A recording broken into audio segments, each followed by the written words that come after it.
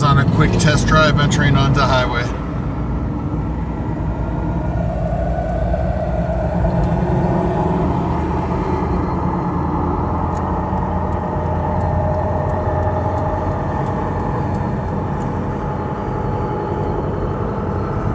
Drives very smooth for as big as this lift